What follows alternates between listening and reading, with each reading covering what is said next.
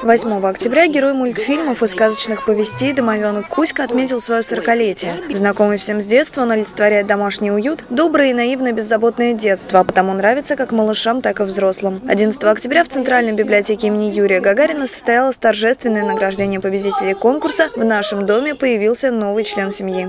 На конкурс поступило 547 творческих работ. Взрослые дети проявили свою фантазию, мастерство, подошли к заданию со всей ответственностью, использовали различные материалы, материалы, показали творческие находки, так что работы получились удивительные, яркие, радостные.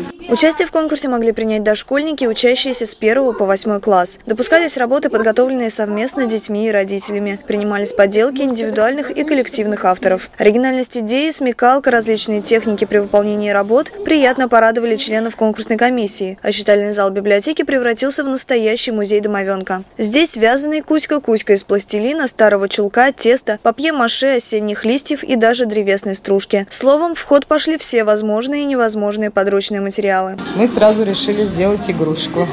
Как ее делали? Не помнишь? Из маминой футболки, да.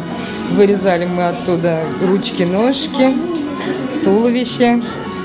Голову из чего сделали? Носка из носка сделали голову. Перед жюри, члены которого мастера своего дела, преподаватель детской школы искусств Татьяна Шаркова и преподаватель художественной школы Марина Морозова стояла сложная задача – выбрать лучшие из почти 600 работ. Сделать это оказалось нелегко, ведь каждое произведение уникально, в каждой частичка души автора. В итоге победители были определены в номинациях «Лучшая поделка», «Лучший рисунок», «Калейдоскоп идей».